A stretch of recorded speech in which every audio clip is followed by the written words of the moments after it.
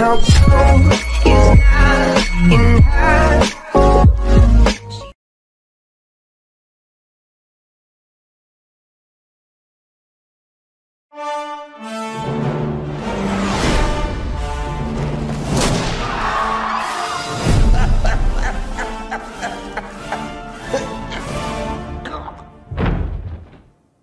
Should we investigate?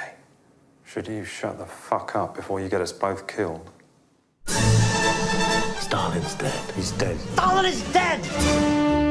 Oh my god. Our general secretary is lying in a puddle of indignity. Yeah, he's feeling unwell, clearly. I want to make a speech at my father's funeral. Um, no problem. Technically, yes, but practically, When I said no problem, what I meant was no problem. Ignore me. Stalin would have wanted the committee as one. All those in favor? Carried you unanimously. we need change. Well, let's see who can mobilize first. Oh, seems to be me. Sneaky little shit. The race has started. We need to start putting together a plan. How can you run and plot at the same time? I have no idea what is going on. I'm the peacemaker, and I'll fuck up anyone who gets in my way. Flattering fannies! Get it!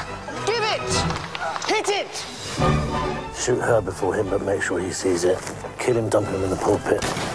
And I leave the rest up to you. We have to act. I really need your help. I'm going to have to report this conversation.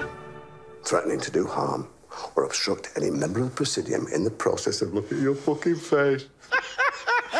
I took Germany. I think I can take a flesh lump in a waistcoat. No matter what happens, I will never let any harm come to you. I may as well just shoot myself like mother.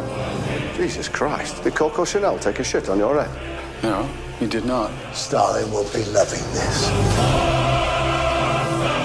I'll take it from here. Good luck, ladies.